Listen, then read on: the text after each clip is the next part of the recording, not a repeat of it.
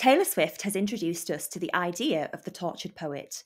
In part one, we touched upon Wordsworth's belief that poets possess unique, heightened sensitivities that lead them to experience intense thoughts and emotions, which they try and sometimes struggle to capture in their poetry.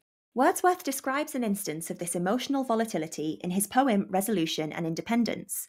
On a beautiful morning, his joyous, carefree delight suddenly spirals into dejection of equal intensity. Such powerful feelings often compelled poets to write poetry as a way of processing these profound experiences. Doing so, however, could be a laborious, bewildering, and painful task.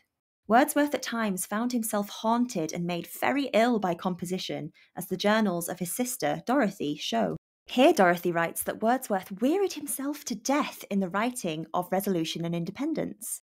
Such an intense experience of feeling, thinking, and writing suggests that poets can be tortured because of who they fundamentally are deeply sensitive souls that feel and are compelled to capture the depth and complexity of human emotion and existence.